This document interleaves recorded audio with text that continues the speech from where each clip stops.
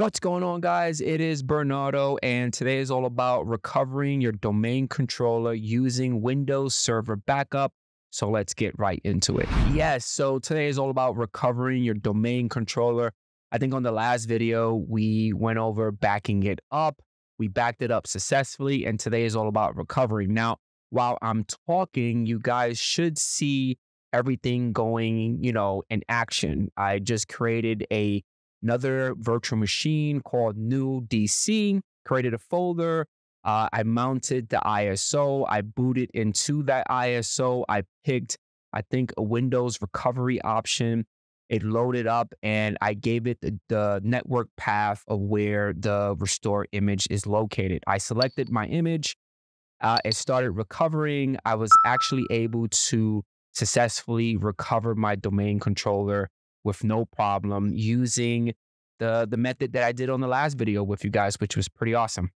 Now, everything was successful, and I'm gonna cut I'm gonna cut the B roll right there, and I'm gonna show you guys what I did afterwards. Because once you recover a domain controller, you got you, you actually have to go in there and run a couple of tests to make sure everything is nice and healthy. So on my domain controller, which is right here, this is the recovered uh, domain controller that I just did, which you just saw briefly. Uh, DC01 was recovered successfully, which was awesome. And the first thing that I like to do is run a bunch of PowerShell commands to make sure that everything is healthy. So I open up PowerShell ISE as a full administrator and I basically have this PowerShell script to check if all services are up and running. Now, some of the services that you should check once a domain controller is recovered is your DNS, your DFS replication, intersite messaging, Kerberos keyed, uh, your Netlogon, and your Active Directory domain services. You got to make sure that all those services are up and running. So I have a PowerShell script that basically checks all that when I run it, it gives me a nice little list right here below uh, that everything is running. Now, by any chance, if those services are not running automatically, you got to check your event logs and check why it's not running. Okay. You might have to go into services and, you know, start it up manually or do a reboot or just check the event logs to make sure those services are healthy. Now, I have another PowerShell script and this PowerShell script has a bunch of commands that I like to run depending on your environment.